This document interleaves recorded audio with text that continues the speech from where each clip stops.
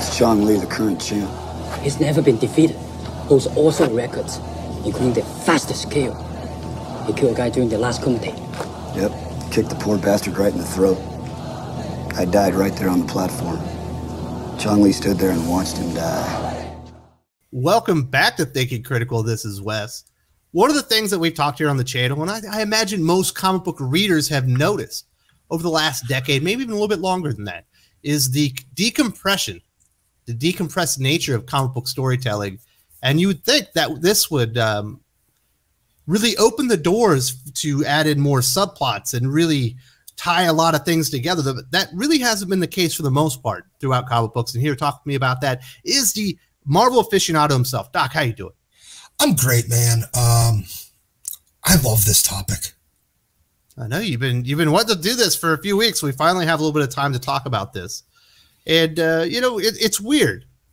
You know, Brian Michael Bendis brought in the writing for the trade style. You know, maybe some other people were doing about the same time, but it's really become the norm across comic books. When you read something like Shadowman right now, where every issue he fights a main villain, defeats them, and then the subplots are carrying the story through it feels shocking. It's refreshing when you get something like that. Or when you read even uh, Nick Spencer's Amazing Spider-Man, a lot of yeah. subplots going through that comic book.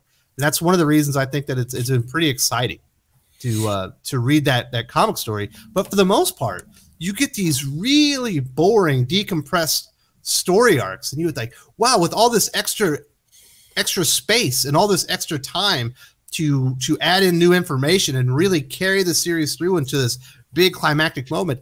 They're not really doing that. It's just really slow, boring storytelling, and they've all but cut out subplots for the most part. You're you're correct. Um, look, the decompressed storytelling. You know, the purpose of that is so that it fits every story, regardless of how much meat there is to it, is five or six issues. You know, a, a, it doesn't matter if a story only really needs one issue. Um, to, to, to be told, it will be padded out to five. It, it doesn't matter if a story really needs four issues, it will be padded out to six. Uh, because they want to be able to sell that collected edition.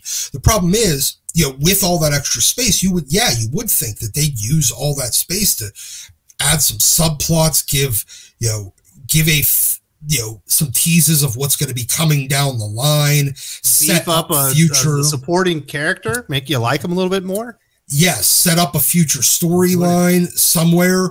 Uh, the problem is those are bad for trades actually because they don't wrap up in the one trade. Exactly. They don't wrap up in that trade. Um, and and and it requires you to read the trades in order. Um, that's the one thing that'll, for the most part, um, the right for trade, the format kind of creates it creates a situation where you can essentially read most of those stories out of order. You can pick up a trade of this or that or whatever else, and it doesn't actually matter what order you read them in because there's no real you know it's like it's like watching an episode of the simpsons out of order um, you can watch pretty much anything from like season 10 through 20 in whatever order you want and it doesn't matter because there's no you know with very few exceptions um no real through line through that. And the subplots create a through line. It creates a, a degree of continuity. A happens before B happens before C, and it builds up to event D down the line. And so the the the the right for the trade, you lose, you know, some of the appeal to that. Now, if you go into the store, like the, the non-reader goes into the store and just grabs a random trade off the off the shelf, they're like, okay, well, what what's this whole subplot thing here? Where does that finish up? Then they go to the store again and buy a different trade, and it's it could be three stories after or two stories before, and they don't know. And they get confused. So, especially since Marvel's trade program, you know, unlike manga, um, you know, where it's volume one through like volume 907 in order they don't do that it's it's hard to collect them i mean especially considering that so much of the stuff from years past didn't have any sort of cohesion to it. Uh, it didn't have any formatting that was written with that in mind. It's difficult to collect. Yeah i mean you had the dark phoenix saga like technically it's like 30 is it 30 something issues? Yeah 37 i guess you could maybe 38 uh, where the, where the idea is first introduced and then it's finally paid off like three yeah. years. So it's it's essentially an omnibus worth but some of those stories in there can be told in whatever order you want but other ones need to be told in order um, and if you go and grab a you know just you, know, you, you could break that up into three trade paperbacks or four trade paperbacks of nine issues, 10 issues each. Um, and they'd sell, and you could definitely number them one through four. But what happens with, and then you stick in, then there's one filler issue after that before you get to the Days of Future Past trade. You're not going to stick that one Wendigo issue or the one or two Wendigo issues in with the Days of Future Past because it doesn't make sense. You're not going to stick it in with the um, the the the Dark Phoenix because it doesn't make sense. But you can't collect two issues into a trade. So well, it also what do you do? kind of brings up a bigger problem than just you know the, the way the trades are formatted and, and how the stories are being released. Which okay, they had to work for it back in the day. Yeah, you know, them being the editors and, and the marketing team that are putting these things together. Cry me a river. That's your job. Yeah. But what it really speaks to, Doc, is the lack of like job security. Why would I why would I plan for future events happening 30 issues from now if I don't know that I'm going to be writing this comic in six issues? I just That's, have to tell the this story and this story and this story and then, oh I got more time and then and then and then. And and that's why you don't get this really good cohesion where everything flows naturally into into these crescendos where you finally get this payoff and now this subplot is the one that takes over as the primary plot. And then you crescendo again and and you know it takes you down and and gets you excited for the next story arc you just get story story story just like you know with the with the event schedule it's event event event event event you know they all lead into each other now because there's no long-term planning they're only planning for the next month Correct. They're essentially writing all these story arcs like they were out of continuity miniseries. Like their um, jobs depend on it. Yeah, and and that out of continuity miniseries, if it sells, you get another six issue out of continuity miniseries. Except for they're being done in the main book. And and the problem you have with this is, yeah, twofold. Why would the creators um, really want to plot stuff that they don't know if they're going to be around to explore. And they don't necessarily want somebody else to explore the things that they're adding in there. I mean, that's the whole point of it. They want to, they have an idea, they want to explore it, and they want to bring it to fruition. They want, don't want to just throw it in there and have somebody else that whoever, you know, one or two or three writers later explore it. Um, and then they don't want to also leave it there unexplored. I mean, for all of the things that you know, looking back at like long runs from like John Byrne on Fantastic Four or Chris Claremont on X Men, there were a lot of unexplored dangling plot threads that are still out there to this day. That now maybe it's too late to really explore some of them, but they're doing it in the X Men Legends series. If they did a Fantastic Four Legends series, they could probably explore a lot there. Um, why leave them out there, especially if they never get explored? And the the readers are going to be disappointed by that. You know, you start setting something up and then you never really finish it off. And the person that comes in after you, all they do, you know, you've seen it every time a new writer comes on, they just essentially it's a new character. Yeah, nothing it's, happened it's, before. exactly. They just reset the clock back to default and or, or have some major event happen in their first issue to essentially wipe out all of the existing subplots and stuff that's going on so that they can set that character up to go in the direction they want. And now again, you know interesting. Nothing's, nothing's I, I, I, don't want to interrupt here, but we there are a couple examples that I think probably prove at least to Marvel. I, I spoke of one Nick Spencer on Spider-Man, but you think about Donny Cates Venom series, right? Yep. Just wrapped up 35 issues. Not the longest run in the world, but three years, you know, is is uh, significant nowadays, you know, within comic books. Correct. And think about what they were able to get without get with that three year run where he was doing subplots. He was introducing ideas, he was introducing concepts, and then if he wasn't going to fully explore them in his Venom series, he had that web of Venom, you know, one shots where he was letting other art or other creators go and filled in those blanks. Venom sold great. And Yeah. they got two major events out of it, although I was disappointed in Absolute Carnage because it was a prelude to another event. But they got two very high selling events out of it. And you got these other ancillary issues that sold well on their own as well. And got some notoriety for some talent and gave them an opportunity to showcase themselves and maybe start building a name for themselves. There's a lot to gain to having these nice, longer, sweeping arcs where you can actually build to an event. And it's not just out of thin air like Empire or out of thin air like Age of X Men.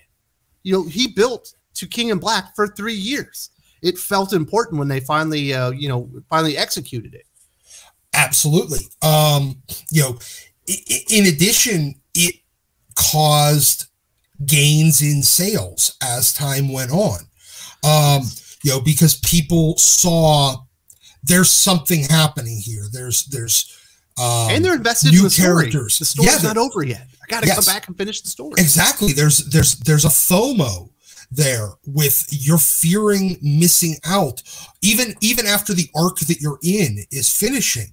But wait, the three subplots that he was setting up. What's going on with Dylan? Why was he able to do that? Yeah, now you're like, well, we finished this absolute carnage thing, but now I got to find out about the Dylan thing that they set up, you know, before and then started crescendoing during this event and now it's going to come to the afterwards and you're going to find out more of what's going on there. Plus now eddie doesn't have his symbiote or symbiote's brain dead and this and that and, and you're like okay how does he get out of this? How did how does all this work? Oh and there's another new symbiote here um that's in his dead ex-girlfriend's body from but oh wait from a different universe. You know you're always introducing something that makes people not want to leave. And as a result you end up actually gaining readers because people that didn't jump on at the beginning start coming in and going oh wow all these people are are getting the payoffs that they wanted and they're getting new ideas that are keeping them sticking around um Now, so f- juxtapose that, Doc, to Donny Cates' Guardians of the Galaxy. That lasted 12 issues, which in today's Marvel Comics is actually kind of substantial. yeah There's three story arcs, and they're each contained as if they were written for the trades. Not a lot of subplots carrying through them. The sales never got big.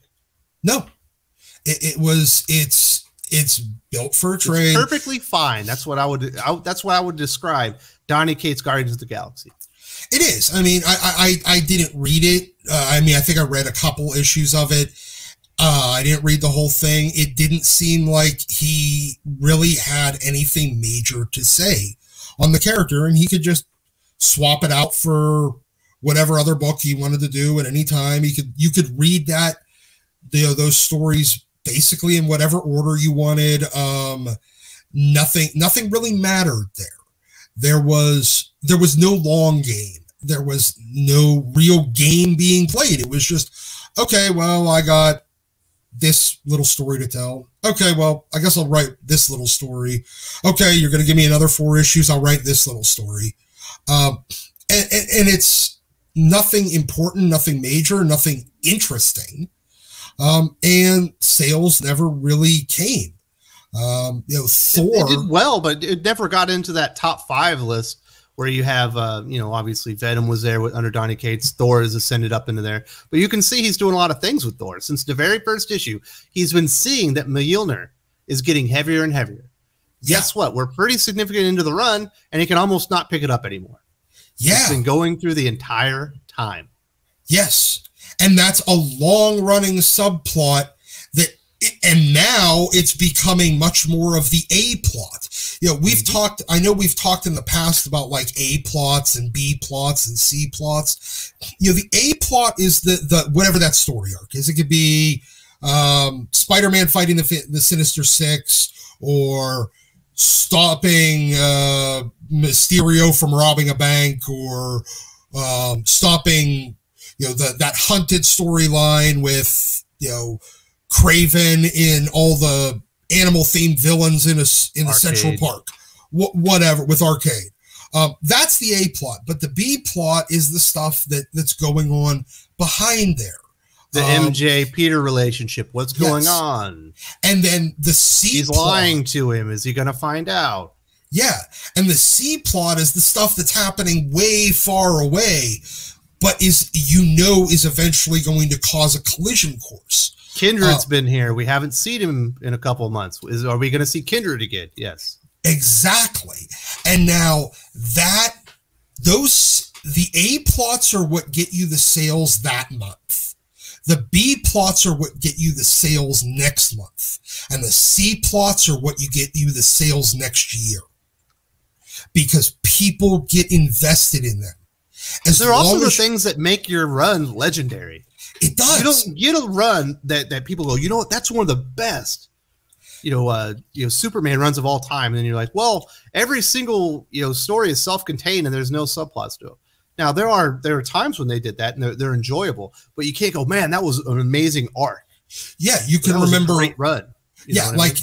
you know, we'll have like um, I, I know that you, you know you've had Joe Corallo on here and Perch, and they talk about like one random issue of uh, you know Captain America Annual or an issue of Marvel Team Up or Marvel Two in One, and those individual issues might be great, but they there's a reason why anthologies don't really sell long term, and it's because there's no through line. There's nothing to keep you coming back on a monthly basis. Um, yes, Spider Man was always there in Marvel Team Up. Uh, the Thing was always there in Marvel Two in One. Um, but you know that long running plot line. Um, you know, Marvel Comics Presents was kind of just like you get short stories of Wolverine in it, but you also got a bunch of other stuff that nobody really cared about. Uh, Man, we, we got Weapon X, you know, Yeah, within uh, you know some of it of an anthology, but everyone remembers that. Every- damn the- story. Yeah, because it was 12 issues with, you know, eight pages per issue or something like that of a 96 page story or, you know, a 100 page story. Obviously, whatever. that one's not really subplots and everything, but you're, No. you're able to keep keep keep people coming back because you have a nice engaging story, and you know that this is going to last a little while. Yeah, but nobody else remembers any of the other, you know, issues of Marvel Comics Presents. I mean, you might remember a random issue here or there, but after that, the sales went back to where it had been before, which was were kind of middling, and it managed to stick around for hundred issues in an era where hundred issues, 150 issues weren't bad. That was about par for the course. That was that was your just kind of baseline comic. Um, and but you know same with marvel 2 in 1 same with marvel team up um, but people remember chris claremont's x-men because it was 17 years and you know chris would talk about how he would run out of he would think he was running out of ideas and then one of his uh you know editors or one of his friends or one of his coworkers would be like well what about that thing you were talking about six issues ago between Moira and Prody or you know Polaris with Polaris getting bigger but losing her magnetic powers. Oh yeah, I guess I can do something with that. And then there's the next three issues, and he's already introducing six or seven other subplots that end up paying off 10 years down the line, two years down the line, six months down the line. It didn't matter how long it took for them to pay off. And That you know what thing- Chris Claremont did? He gave you a little palette cleanser, a little one shot here and there. Yes, You need that too. he That, did. that, that helps build the, the run. It does. And, and you know what? Even Nick Spencer's Spider Man has given us those palette cleanser issues from time to time. Uh, now, And even might, then, you can introduce that D plot that you haven't talked about in a year. yeah, Hey, I'm still here. Why are you Yeah, playing baseball? yeah, you can have Peter, uh, you know, tr- realizing, oh shit, I haven't been going to my actual real job and they're going to fire me.